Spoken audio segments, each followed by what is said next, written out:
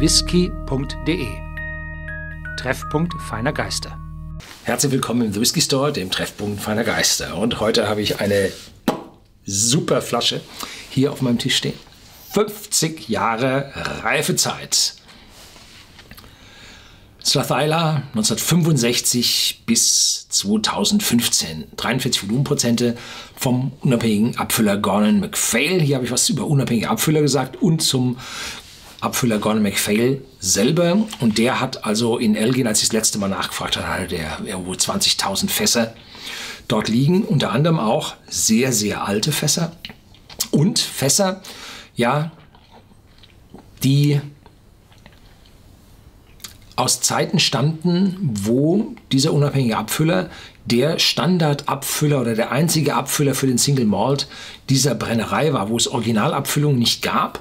Und dieser Strathyla hat nun, ui, hat nun so ein Label,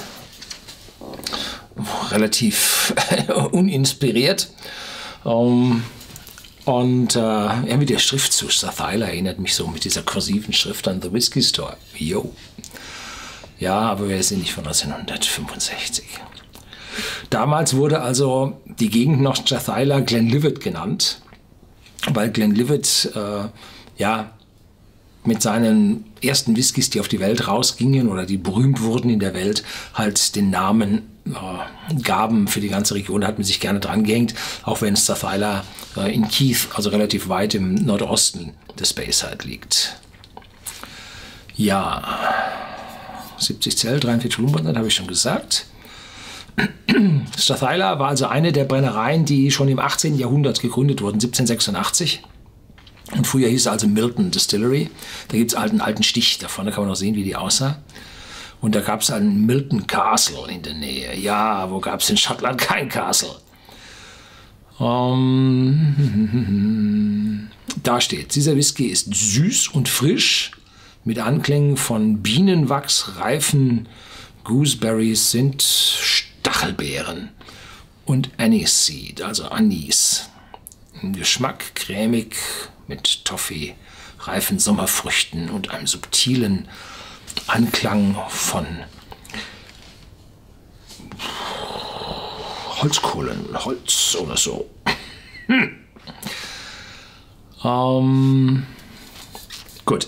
Was kostet eine Flasche? Ja, einen halben Tausender müssen Sie da schon ausgeben. Oder wie heißt es immer so schön, einen violetten Schein. Wenn es überhaupt reicht. Ne? Je länger Sie, äh, je später Sie dieses Video sehen, umso teurer wird er. Momentan explodieren die Preise hier für diese Gordon MacPhail Whiskys. Das ist also gerade so kracht. Ne? Also da kriegt man die neue Lieferung Pups, wie heißt es, Pupstich, sind 50 Euro wieder mehr drauf auf so einer Flasche. Das ist also unglaublich. Die Bestände scheinen wirklich schmal knapp zu sein. Wow. Sehr dunkel, sehr duster. Mal sehen, 50 Jahre, Eichenfass. Um, ich habe irgendwo gelesen, soll First Fill sein. Jetzt ist die Frage immer, wie viele davon gibt es? Gordon MacPhail füllt in der Regel so zwischen, acht, zwischen fünf und acht Fässern ab. So groß ist deren Mischgefäß. Ähm, ob sie nun acht Fässer davon hatten, ich wage schwer zu bezweifeln. Also da Einzelfass, Einzelfässer nehmen sie gerne dann als Fassstärke her, wenn sie noch stark genug sind, schwer zu sagen. Also ich schätze mal hier so zwei, drei Fässer, mehr werden es nicht gewesen sein. Ne?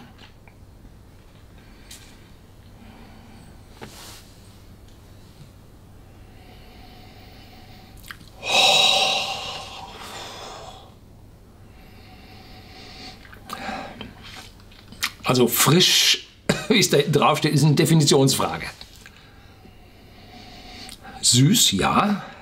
Und dahinter ein heftiger Schwall von Eiche. Ich habe mal einen Glen Grant von 1955 probiert, der war auch 50 Jahre alt. Und auch da merkt man vom Brennereicharakter nicht mehr wirklich viel. Da ist es das Fass, was hier den Hauptausdruck auf den Whisky aufprägt. Also nach, man sagt so nach so acht bis zehn Jahren hat das Fass, wenn es nun nicht irgendwie so ein fünffach ausgelutschtes ist oder so ein dreifach ausgelutschtes ist, einen 50-prozentigen Geschmacksanteil. Und wenn es also jetzt noch viel, viel älter wird, dann irgendwann wird er 60, 70, 80, 90. Und dann unterscheiden sie die Whiskys aus verschiedenen Brennereien nicht mehr. Da schmecken sie primär das Fass. Und da drin ist dann noch so eine leichte Hinternote, die von der Brennerei stammt. Und in diesem Fall ist es tatsächlich Bienenwachs. Und zwar ist es so eine Weihnachtskerze. Erinnert mich daran, die reife Stachelbeere. Ich habe als Kind die Stachelbeeren nicht gemocht, weil wir sie immer zu früh gepflückt haben und sie immer so sauer waren. Und dann waren sie so, so stachelig auf der Zunge. Sodass ich da nicht wirklich sagen kann, sind das reife Stachelbeeren oder sind das nur irgendwelche süßen Früchte. Wobei die Süße, je länger ich da die Nase reinhänge, umso mehr lässt die Süße nach. Am Ende kommt sogar so ein bisschen von diesem besagten Anis-Seed, also Anis, vor, aber so groß und stark ist der Anis nicht. Tja.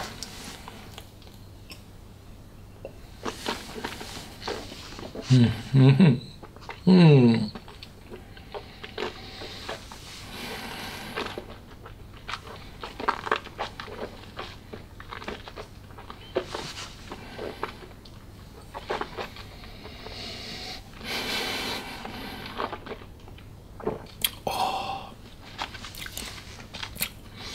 Also, für 43 Prozent Mordsantritt auf der Zunge, das ist die Eiche. Wenn man dann runtergeschluckt hat, erstaunlich wenig Alkohol dabei, ja, der würde jetzt hier mit 48 auch ganz gut noch weiter drücken. Aber hat er nicht. Dafür kommt dann eine leichte Süße auf, die ja, den Speichelfluss anregt und einen sehr schönen Kontrast zu der, ja, der Eichenbitterkeit bringt, die so ein Whisky natürlich auf jeden Fall hat. 50 Jahre alt, zu der Zeit dürften 99 Prozent aller Sherryfässer aus spanischer Eiche gewesen sein, also europäische Eiche. Meistens, glaube ich, so aus den Pyrenäen, glaube ich, kam die doch immer, oder? Und das meine ich hier ganz, ganz deutlich zu spüren, auch wenn ich schon Whiskys hatte, die ja eine zehnmal bittere Note hatten. Also diese Eichenbitterkeit hält nicht so lange an. Sie gibt also einen sehr schönen, leichten, ja, Kaffee, Kakao, ja, eher Kakao, Bitterkakao, zusammen mit so einer leichten Toffee-Note. Und im Abgang wird er dann erst süß und dann ganz zum Schluss bleibt ein bisschen äh, die Eiche übrig. Und dann jetzt zum aller, aller, aller Schluss ein bisschen süß. Jo. Eine wunderbare Achterbahn. Toll.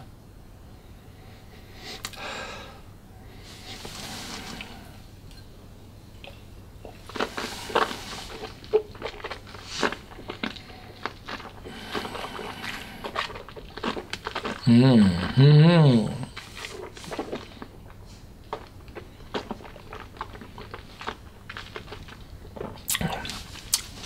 Sommerfrüchte ist ein bisschen schwierig zu definieren. Süß und saftig im Geschmack, aber so wie man runtergeschluckt hat, weichen diese Früchte irgendeiner ja, mehr intensiveren, würzigeren Fracht. Vielleicht ist das so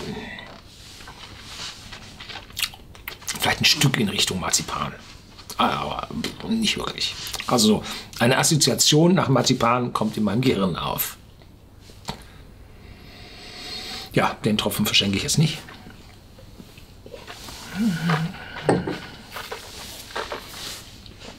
Oh. Wenn Sie mal ein Lila zu viel haben, Es ist jetzt egal, ob Sie da 1965er nehmen, 1964er nehmen oder was auch immer. Ähm, um dieses Erlebnis zu haben, sollten Sie aber darauf achten, dass die Flaschen entsprechend dunkel sind.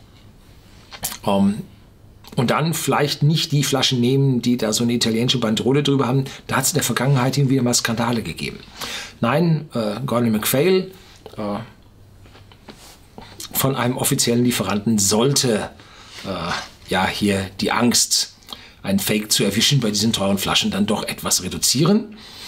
Ähm, auf jeden Fall eine Flasche, die, ja, Sie brauchen auch nicht wahnsinnig viel Angst zu haben, dass die jetzt, wenn die bei Ihnen fünf Jahre rumsteht, dass die schlecht wird.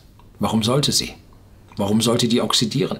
Die lag schon 50 Jahre im Fass und durch die Fasswein ist immer wieder frischer Sauerstoff reingekommen.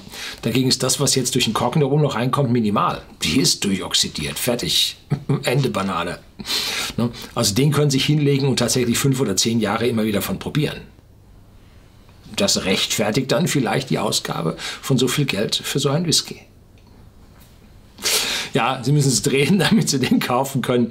Äh, wer auf, sagen wir mal, auf ein ordentliches, nicht ein ordentliches, wer auf ein besseres Preis-Leistungs-Verhältnis schaut, wird so eine Flasche nicht raussuchen. Wer aber einmal im Leben so eine probieren möchte, sehe ich hier diese nicht gerade die falsche. Ne? Ja, jetzt winde ich mich hier hin und her. Um, ähm, auf jeden Fall sollten Sie sich ranhalten, weil in fünf Jahren geht sowieso keine mehr davon. Ne? Dann können Sie froh sein, wenn Sie aus den 70ern welche kriegen.